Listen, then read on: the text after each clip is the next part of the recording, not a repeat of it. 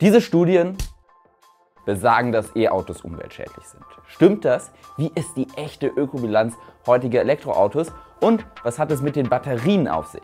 Willkommen bei Breaking Lab, Jakob hier. Klickt jetzt auf Abonnieren, wenn ihr keine Science News und Experimente mehr verpassen wollt. Los geht's! Wusstet ihr, dass General Motors bereits 1996 sein erstes Elektroauto auf den Markt gebracht hat? Das Auto hieß Saturn EV1, also EV1, steht für Electrical Vehicle One und hätte laut Meinung diverser Fachkreise die Automobilindustrie revolutionieren können. Schon mit der ersten Generation Batterien schaffte man immerhin 130 Kilometer, bevor das Auto wieder geladen werden musste. Und der elektrische Induktionsmotor wies außerdem nur ein einziges bewegliches Teil auf und galt so mangels Verschleiß als quasi wartungsfrei. Doch dann passierte etwas Merkwürdiges. GM rief alle ausgelieferten Elektroautos zurück und ließ sie verschrotten.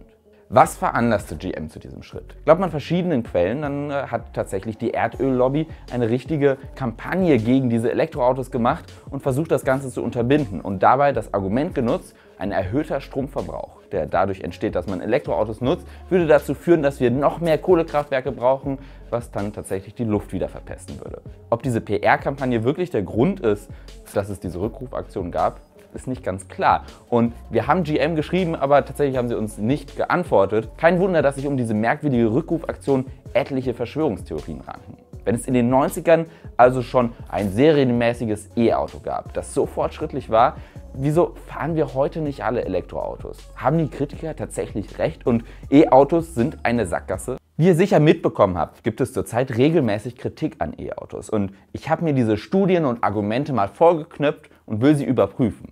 Ganz unvoreingenommen und tatsächlich auch mit dem Gedanken, dass ich mich möglicherweise von der einen oder anderen Seite überzeugen lassen kann. Grundsätzlich lassen sich drei große Kritikpunkte ausmachen. Erstens, die Batterieproduktion ist sehr umweltschädlich. Zweitens, der Rohstoffgewinn für die Batterien zerstört die Natur. Und drittens, der Energieaufwand beim Aufladen ist viel zu hoch. Okay, Punkt 1, die Batterieproduktion. Oft hört man ja, dass die Batterieproduktion für E-Autos super aufwendig ist. Eine viel beachtete schwedische Metastudie von Mira Romar und Lisbeth Dahlhöf ich hoffe, das habe ich richtig ausgesprochen, vertritt diese Position. Sie rechnen vor, dass bei der Produktion eines Akkus für ein Tesla Modell S mit 100 Kilowattstunden allein durch die Produktion der Batterie 17 Tonnen CO2 ausgestoßen werden und bis zu 18.000 Kilowattstunden Energie benötigt würden. Beim Verbrauch von 8 Litern Diesel pro 100 Kilometern müsste man 80.000 Kilometer fahren, um auf denselben Ausstoß zu kommen. Klingt erstmal ziemlich krass, aber mit dem Modell S von Tesla wurde das E-Auto mit der größten Batterie ausgewählt. Vom Modell S abgesehen gibt es eigentlich kaum E-Autos, die wirklich eine so große Batterie benutzen. Gerade erschwingliche Autos, die haben alle nur eine halb so große Batterie. Damit verbessert sich die CO2-Bilanz eines Elektroautos natürlich deutlich. Außerdem zeigt die Untersuchung selbst, dass der Strommix des Produktionsstandorts das Gesamtergebnis stark beeinflusst. Stammt der Produktionsstrom sogar aus erneuerbaren Energien, wie es Tesla-Chef Elon Musk ja für seine Gigafabriken immer behauptet, würde sich der Vorteil der Elektroautos nochmal deutlich verstärken gegenüber dem Verbrenner. Und ich habe mich daraufhin was gefragt. Wie hoch ist eigentlich der Energieaufwand für die Herstellung von Verbrennungsmotoren? Und wie hoch ist der Verbrauch, um überhaupt den Sprit herzustellen? Also, ich habe erstmal recherchiert und das ist wirklich krass. Laut GMIS Datenbank und dem Department of Energy in den USA werden in einer Raffinerie rund 1,5 Kilowattstunden für die Erzeugung eines Liters an Kraftstoff benötigt. Für den Durchschnittsverbrauch von 7 Litern auf 100 Kilometern kämen allein an dieser Stelle mehr als 10 Kilowattstunden zusammen. Dies würde ausreichen, um mit einem Elektrofahrzeug 50 bis 80 Kilometer weit zu fahren. Und hier geht es nur um die Herstellung des Kraftstoffs. Hinzu kommen ja noch Förderung und Transport und die ganzen ausgeschossenen Schadstoffe, wenn das Auto dann fährt. Die südeuropäische Pipeline, die von der Hafenanlage in Marseille ins Rhein-Neckar-Gebiet verläuft und diverse Raffinerien mit Rohöl versorgt, die braucht zum Beispiel riesige Pumpen, und zwar 34 Stück, die eine Leistungsaufnahme zwischen 1600 und 2200 Kilowatt haben. Der Jahresverbrauch soll bei 100 Gigawattstunden liegen. Also hier eine kleine Beispielrechnung. Der durchschnittliche Stromverbrauch eines Elektroautos liegt inklusive Ladeverlust bei 17,5 Kilowattstunden pro 100 Kilometern.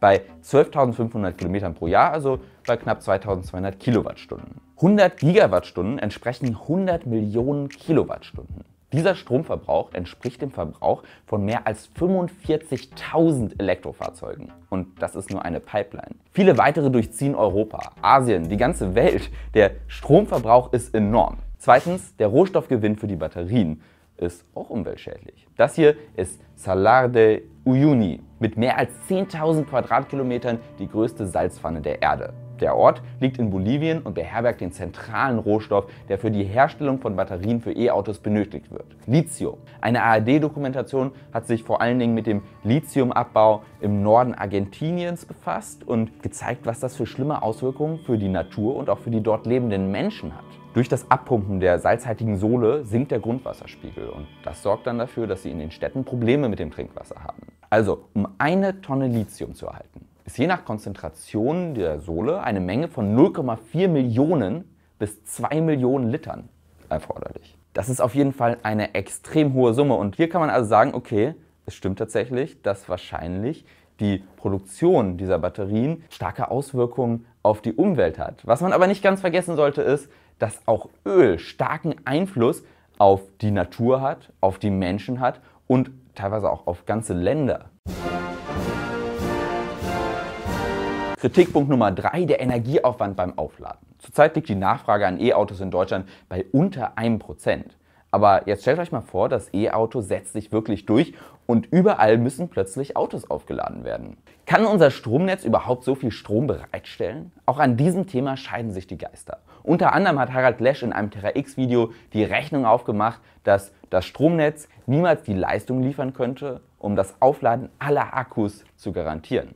Lesch sagt, dass die bereitgehaltene Kraftwerkleistung dazu um das Fünffache von derzeit 68,5 GB auf 350 GB gesteigert werden müsste. Also ich liebe Lesch und es gibt in Deutschland wirklich keinen, der wissenschaftlich so viel vermitteln kann. Aber ich habe tatsächlich bei der Rechnung doch etwas gestutzt. Lesch geht bei seiner Rechnung nämlich davon aus, dass eine Million Elektroautos gleichzeitig an eine Schnellladesäule mit 350 Kilowatt angeschlossen werden müssen. Aber die Vorstellung, dass eine Million Schnellladesäulen mit 350 Kilowatt in Deutschland überhaupt bereitgestellt werden müssten, ist völlig absurd. Die meisten Autos würden nämlich zu Hause über Nacht geladen werden und zwar viel, viel langsamer und mit viel weniger Leistung als 350 Kilowatt. Außerdem wird vorausgesetzt, dass ein Elektroauto alle zwei Tage rund 175 Kilowattstunden nachlädt. Das würde eine Fahrleistung von 150.000 Kilometern im Jahr ergeben, was ziemlich unrealistisch ist, denn mehr als 40.000 Kilometer im Jahr fahren nur 2% der Deutschen. Wie viele Deutsche kommen dann überhaupt auf diese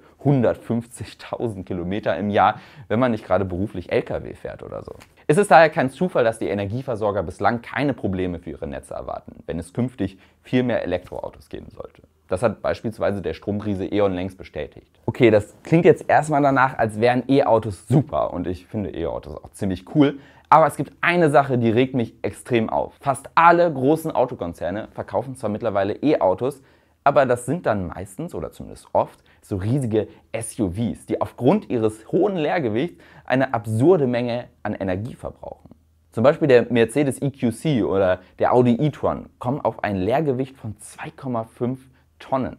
Und trotzdem werden sie von den Firmen als ökologisches Meisterwerk gepriesen. Grundsätzlich zählt für Autohersteller übrigens die durchschnittliche Flottenemission. Um weiterhin schwere SUVs mit hohem Kraftstoffverbrauch verkaufen zu können, produziert die Autoindustrie also noch schwerere Elektro-SUVs, was dann die Bilanz der Flotte reduziert. Denn tatsächlich ist es so, dass bei der Klimabelastung die Produktion und der Betrieb nicht mit eingehen und Elektroautos so als Null-Emissionsfahrzeuge gelten.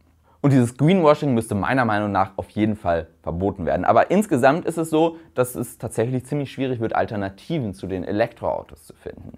Und es gibt eine ziemlich spannende Doku der ARD, die ich euch hier mal empfehlen würde. Und da geht es darum, wie E-Mobilität tatsächlich gut funktionieren können, weil in Skandinavien, da wird das Ganze schon umgesetzt und zwar ziemlich erfolgreich. Sonst lasst gerne ein Abo da. Wir sehen uns wieder. Macht's gut. Euer Jakob.